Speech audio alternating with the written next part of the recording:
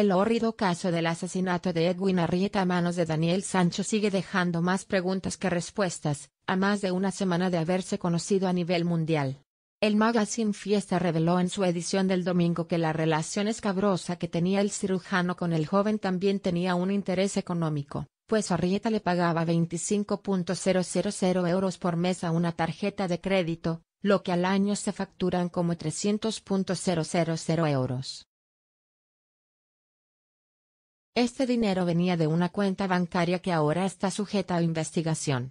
La tarjeta de Daniel Sancho revela que el último pago efectuado fue en la misma semana del crimen, algo que contradice los dichos en la declaración de este, donde asegura que Edwin Arrieta le habría dado 100.000 para que pueda abrir su propio restaurante.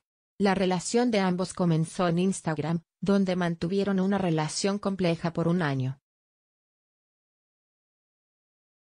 Los planes del médico eran mudarse con Sancho a Barcelona, donde abriría una clínica de estética en Madrid.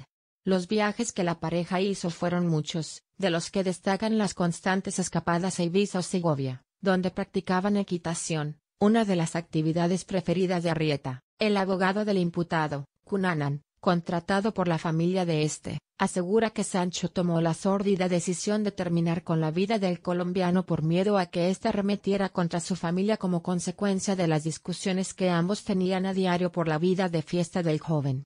El colombiano tiene parientes mafiosos y tiene dinero. Dice que es capaz de contratar a cualquiera para hacerle daño a él y a su familia, decía Anan en defensa de su cliente.